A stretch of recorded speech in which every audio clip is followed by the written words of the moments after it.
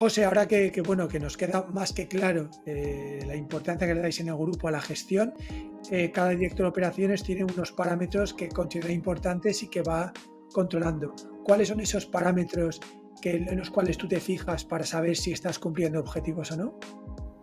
A ver, parámetros son muchos, ¿no? Hay muchas cosas que vigilar eh, diariamente, semanalmente, constantemente en, una cuenta de, resultados o en el funcionamiento de un restaurante, ¿no? Eh, si nos ponemos a analizar los básicos, pues eh, obviamente están las compras, están los gastos o la rentabilidad de cada, de cada producto, tanto si es un producto de venta directo, quiero decir como si es un vino o un agua, o si es una receta que tiene elaboración, pues tenemos que calcular el coste de, ese, de esa producción.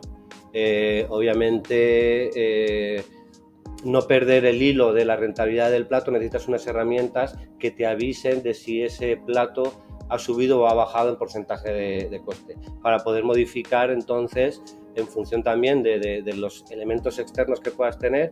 Ahora está, todos sabemos lo que ocurre con la inflación, ¿no? Todos esos elementos externos que puedas tú vigilarlos y entonces tomar las decisiones y las intentar paliar todas esas cosas externas que te ocurren dentro de, de todo este complejo que es gestionar restaurante. Entonces hay muchas cosas que vigilar.